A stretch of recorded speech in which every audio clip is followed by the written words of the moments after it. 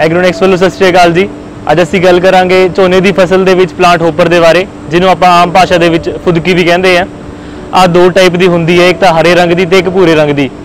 Green hopper ਦੀ ਪਛਾਣ ਉਹਦੀ ਕਮਰ ਦੇ ਉੱਤੇ ਤਿੰਨ ਬਿੰਦੂਆਂ ਦੇ ਨਾਲ ਹੁੰਦੀ ਹੈ ਤੇ ਇਹ ਪੱਤਿਆਂ ਦੇ ਉੱਤੇ ਅਟੈਕ ਕਰਦਾ ਹੈ ਤੇ ਪੱਤਿਆਂ 'ਚੋਂ ਰਸ ਚੂਸਦਾ ਹੈ, ਜਿਹਦੇ ਕਰਕੇ ਪੱਤੇ ਪੀਲੇ ਪੈ ਜਾਂਦੇ ਆ। ਤੇ ਦੂਜਾ ਜਿਹੜਾ ਹੈਗਾ ਉਹ ਬ੍ਰਾਊਨ ਪਲਾਂਟ ਹੋਪਰ ਇਹ ਪੌਦੇ ਦੀ ਸ਼ੁਰੂਆਤੀ ਸਟੇਜ ਦੇ ਉੱਤੇ ਵੀ ਅਟੈਕ ਕਰਦਾ ਹੈ। ਇਹ ਤਣਿਆਂ ਦੇ ਉੱਤੇ ਰਸ ਚੂਸਦੇ ਨੇ, ਜਿਹਦੇ ਕਰਕੇ ਪੌਦਾ ਬ੍ਰਾਊਨ ਰੰਗ ਦਾ ਹੋ ਜਾਂਦਾ ਹੈ।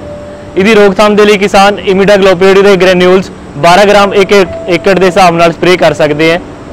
ਤੇ ਮੋਨੋਕ੍ਰੋਟੋਫੋਸ ਦਾ ਇਸਤੇਮਾਲ ਵੀ ਕੀਤਾ ਜਾ ਸਕਦਾ ਹੈ। ਇਹਦੀ ਡੋਜ਼ 500 ml ਇੱਕ ਏਕੜ ਦੇ ਹਿਸਾਬ ਨਾਲ ਸਪਰੇਅ ਕੀਤਾ ਜਾ ਸਕਦਾ ਹੈ। ਜੇ ਤੁਹਾਡੀ ਹੋਰ ਕੋਈ ਸਮੱਸਿਆ ਹੈਗੀ ਹੈ, ਤੁਸੀਂ ਐਗਰੋਨੈਕਸ ਦੀ ਐਪ ਦੇ ਉੱਤੇ ਪੋਸਟ ਕਰੋ। ਸਾਡੀ ਟੀਮ ਤੁਹਾਨੂੰ ਛੇਤੀ ਤੋਂ ਛੇਤੀ ਉਹਦਾ ਹੱਲ ਪ੍ਰੋਵਾਈਡ ਕਰੂਗੀ ਜੀ। ਤੇ ਆਓ ਜੀ, ਹੋਰ ਵੀਡੀਓਜ਼ ਦੇ ਲਈ ਸਾਡੇ ਐਗਰੋਨੈਕਸ ਚੈਨਲ ਨੂੰ ਸਬਸਕ੍ਰਾਈਬ ਕਰੋ। ਧੰਨਵਾਦ ਜੀ।